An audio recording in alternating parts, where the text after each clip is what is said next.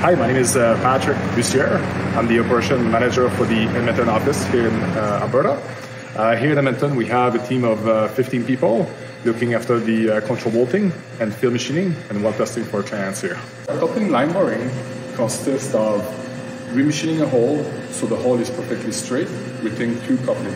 So here you see this is a, uh, a coupling demo that we, uh, we put together to be able to simulate a, a, real coupling in real life. So here we have the uh, TRU-Bore coupling line boring machine. Uh, the machine includes several parts.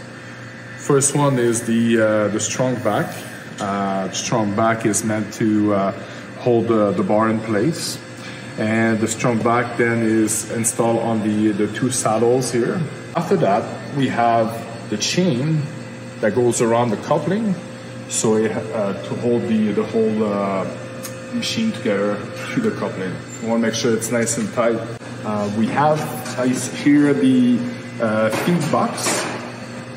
The, the goal for the feed box is to drive the tool holder through the holes at a uh, specific uh, feed there.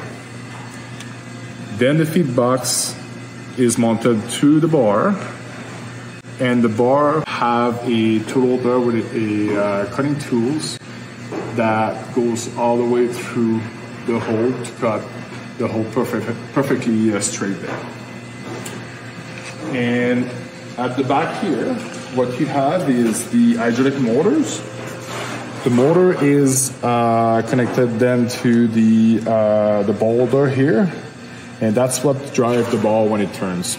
And the, the motor is connected with hoses direct to the uh, hydraulic pump.